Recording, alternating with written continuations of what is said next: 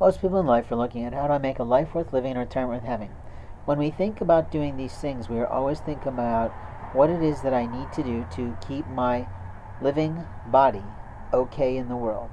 You see, as we age and as we continue to have our cellular health decay, which is a natural process of the human body, we aren't really thinking about what God does for us through that process. What is truthful is that we sort of start to lose energy. What is truthful is that we start to lose some strength.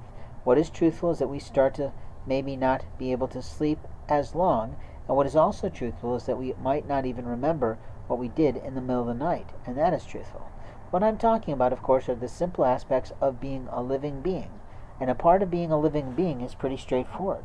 We all have to literally sleep, eat, poop, and, well, have a little bit of love time with someone that's special and eventually do something that's self actualization. And that we know is Maslow's hierarchy of needs that has been pretty well accepted across the psychology spectrum. But what I'm really talking about is the concept of eating. And I can take it in from this way or any other way, but the bottom line is America produces food practically for the world. Now, when we think about this concept of America producing food for the world, what do you think the most important things are in American culture, American society, and American business? It's a gross natural product of food. Oranges from Florida, right? Grapefruit from wherever that heck that comes from. And things like that that get exported throughout the world.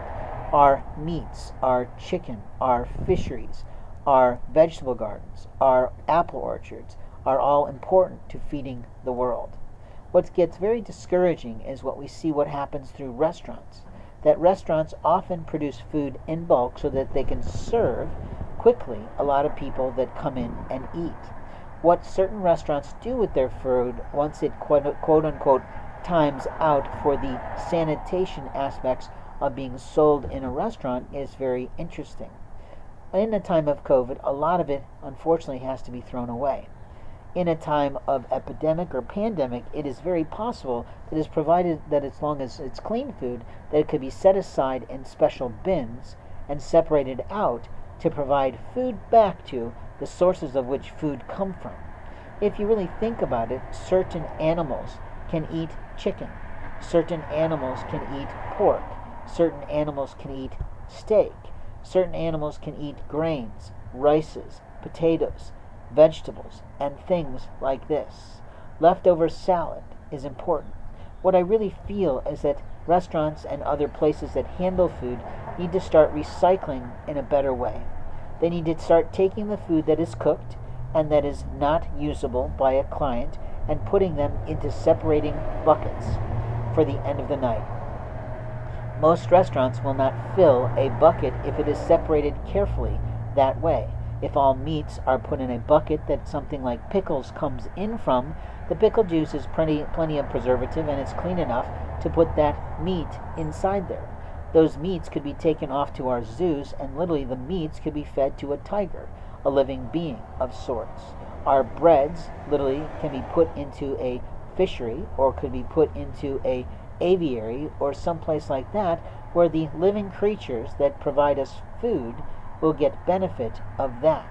Our vegetables and things like this could be given to our hogs who literally love to eat those things, I'm pretty sure, based on what I've seen of how those creatures are cared for in animal husbandry. What we do for horses or other things, I don't know because they don't produce a meat for us in this nation. They do produce meat in other nations. There's horse being served as sushi in other places in the world, but that's just what I know.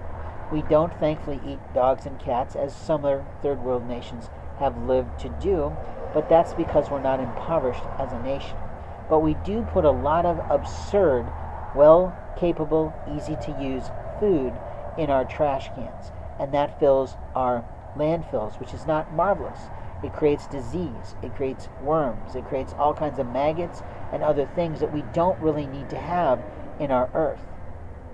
Creating manure is a lot better for us because we know that if it's handled properly, handled carefully, it can be utilized to help fertilize the earth of creating new and improved grains, new improved corn, new improved soybeans, new improved other things that the Midwest is notorious for making.